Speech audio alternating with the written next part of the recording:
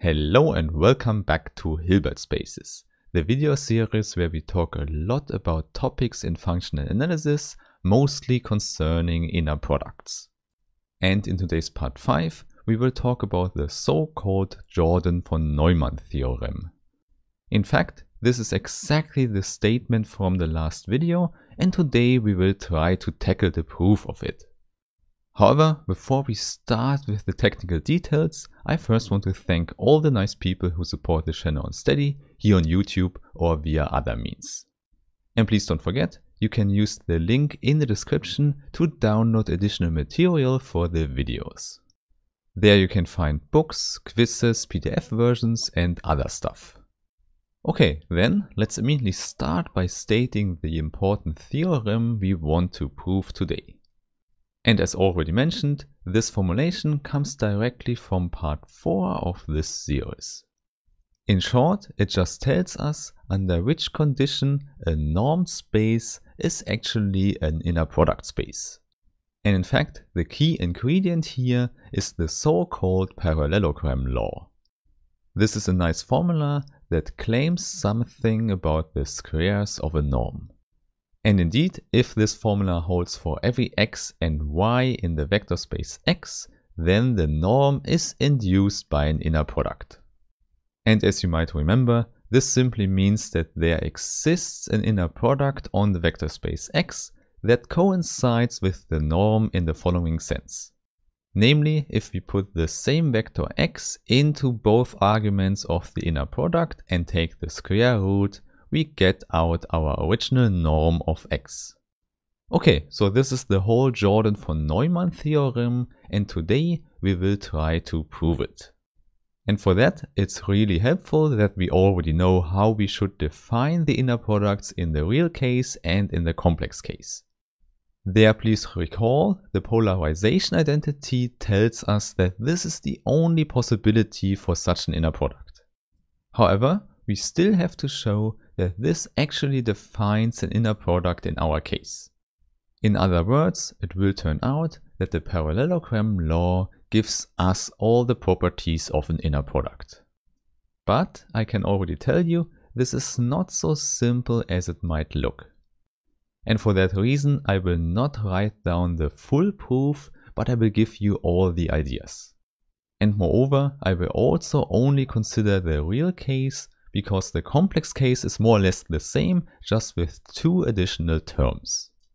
Hence, for the rest of the video, when we write the pointed brackets, we mean this combination for the norm. And now you know, in order to show that this defines an inner product, we have to show three properties. And these you know from the first video of this series, namely we have the positive definiteness we need the linearity in the second argument and the symmetry. And now it turns out that the first and the third property are quite easy to show, but the second will make some work. Indeed, I would say let's immediately write down how we can prove the first and the third statement. To show that the construction is positive definite, we have to put in the same vector x into both components. And this tells us that the first part here has 2x inside the norm and the second part has just the 0 vector inside the norm. Hence only the first part remains and there we can pull out the factor 2. So what we get is exactly what we wanted, namely that the square root of the inner product is exactly our norm. So everything fits together, but it also shows us that we have the positive definite property here. In particular, this means if we get the output 0 here, then this is only possible for the 0 vector. And with that, property 1 is finished and we can quickly talk about property 3. There please note in the real case we don't need a complex conjugation, so we can just exchange the two entries. And then by simply using the definition, we immediately see that it does not matter which element comes first, because the norm does not care about the sign involved. Therefore we immediately get the same result again and the symmetry is proven. So you see, as promised, these two properties are more or less clear and you also see that they hold for any norm on the vector space. So for these two properties, we don't need the parallelogram law at all. However, this also means that we will definitely need it now to prove the linearity. Therefore, let's put the assumption, the parallelogram law, into a box. Okay, and now before we start with the actual calculation for the linearity, I first want to check what we can do with this assumption. And maybe it's helpful to use some other letters here, so let's take W and Z for the vectors. And now obviously the only thing we can do is to use the definition. Hence what we get is the difference of these two norms squared. And now, in order to apply the parallelogram law, we have to change something because there is no subtraction in the parallelogram law. And one idea for that, for example, would be to add the missing part artificially. Hence I write plus the norm of w squared minus the norm of w squared as well. So not much changed here, but now you can see we have two parts with an addition sign. And now obviously the idea would be to apply our parallelogram law to each part. Hence in the first part we want to have x plus y and x minus y. So you see we just have a system of two linear equations we want to solve. And solving that is not complicated at all, we can immediately write down what x and y should be. Namely x is just w plus 1 half z and on the other hand, y is simply given as 1 half times z. And now even without solving the system explicitly, you can immediately check that these two solutions work. Okay, in addition, we want to apply exactly the same idea here for the second part. However, there we need two new names, so let's call them x tilde and y tilde, and then you see we want the plus sign in the first and the minus sign in the second. And also there, you can just solve the system of linear equations and then the solutions should not surprise you. Indeed, in the same sense as before, you can just check that the solutions work. Okay, by rewriting the formula in this sense, now you see we are allowed to apply the parallelogram law.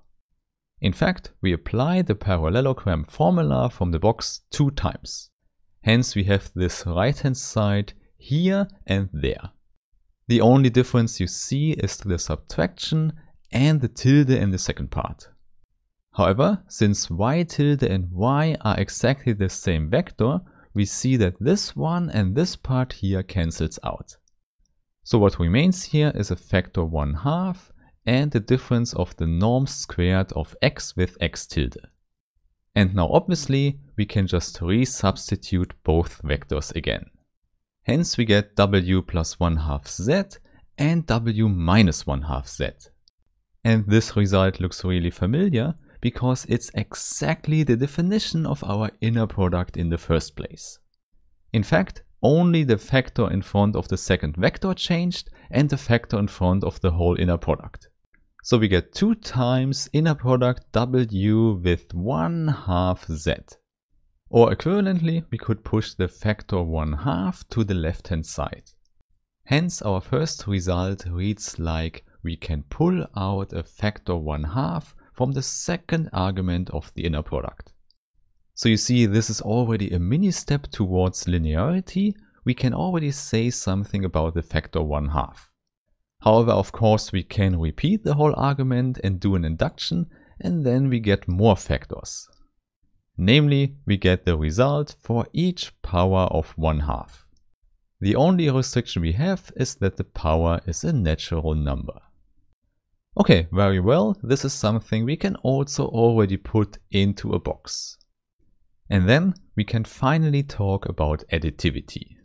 This means we want to know what happens when we add two inner products where the first argument is the same. So let's say we have wz plus wz hat. And now additivity would mean that we can push this addition into the second argument. And in order to show that, the first step is again to just use the definition of the pointed brackets in this case. You know it's given by the norm, and now we have two similar looking terms. And now similarly to before, we want to apply the parallelogram law, which means we have to reformulate the whole thing. And please recall, before we had to shift everything by the vector 1 half z. And now with a similar idea, we can combine all the terms here when we use the vector z plus z hat divided by 2. Therefore, to adjust the first entry here, we have w plus z plus z hat divided by 2 plus z minus z hat divided by 2. Indeed, this is the whole idea. We apply this procedure for all of the four terms. And then we can use our parallelogram formula as before. Okay, so I want to use a plus sign here. So you see by introducing a minus sign at this point, we get actually the third term here. And as before, the other two terms have a minus sign in front. Otherwise, there's not a big difference. And just to clarify, here we see this is the fourth term and the other one here was actually the second one from before. And now we have the same idea as before and we could rename the vectors to x and y to see that the parallelogram law is applicable. However, since we have already explained that before, I will be much quicker here.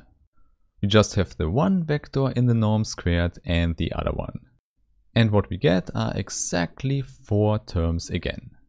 And moreover, as before, we recognize that two terms will cancel. And obviously that was the sole reason why we chose exactly this decomposition. And moreover, what we get is again the definition of our inner product. You see that because we have the same vector just with different signs in the sum inside the norm squared and then we subtract both of them. Only the factor here is wrong by 2, but you already know that from before. Hence what we get is 2 times the inner product w with z plus z hat divided by 2.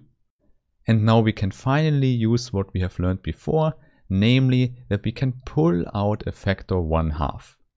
This is the last step and then you see the additivity is proven. Which means one part of the linearity is definitely done. In fact, the only thing missing now is to show the homogeneity, which means we can pull out every factor from the second argument. At the moment we are only allowed to pull out 1 halves, so let's generalize that. And as it turns out, we can immediately find a different factor because we have the additivity already. Obviously the additivity also applies when we have the same vector in the sum. This implies that in the second argument of the inner product we have z plus z. Which means on the right hand side we can write w with 2z and on the left hand side we have w with z two times. In other words, it's also allowed now to pull in a factor 2. And also here, we can just do an induction to show it for all natural numbers. Hence the result is if k is a natural number, we can pull it into the second argument. And now the final step is simply to combine this with our star. Then we know that every factor of the form k over 2 to the power n can be pulled in. And this nice formula holds for every natural number k and n. So you see, we can already describe a lot of positive real numbers with this formula. But please note that we also have the homogeneous property for 0 and minus 1. Actually, both of these formulas follow immediately from the definition of our inner product. However, you still see that a lot of real numbers are still missing, but the thing is that we can approximate all of them. One can show that with the expression k over 2 to the power n, one can approximate all real numbers. Or more precisely, we have it for all positive real numbers, but as we have already seen, we can just flip that to the negative real number line as well. Of course, one has to formulate that more precisely, and then by using the continuity of the norm, one gets the formula as we want it. Which means our homogeneous property that each lambda from the real number line can be pulled in. And with that we finally have the whole linearity and the proof is finished. And at this point you will believe me that all these ideas can be generalized to the complex case as well, one just has to write more. And with that, the Jordan von Neumann theorem is proven, which tells us that a normed space is an inner product space if and only if the parallelogram law is satisfied. So you see why this fact is important for the discussion of Hilbert spaces, and I would say we continue with this topic in the next video. So I really hope I meet you there, and have a nice day. Bye bye.